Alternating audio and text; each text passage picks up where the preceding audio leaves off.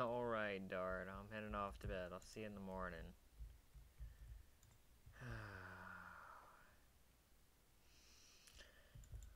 Hmm, okay. What? Where am I? Nobody's born evil. Not in my book. I shouldn't be here. I can't be here. Is anyone there? Anyone? I need to get out of here. Oh no. What? What?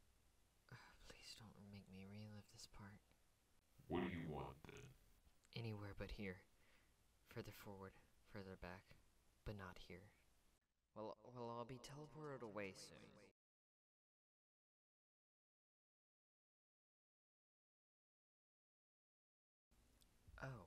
I'm here. HB 7. And it's even charged. I remember being so confused by this path.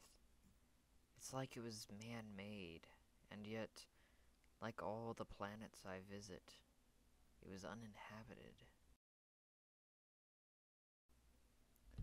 I was so confused, yet quite curious when I noticed the tentacles. But then I did the one thing I shouldn't have. The one thing I wish I hadn't. The one thing I didn't know I was doing. Do you have a home?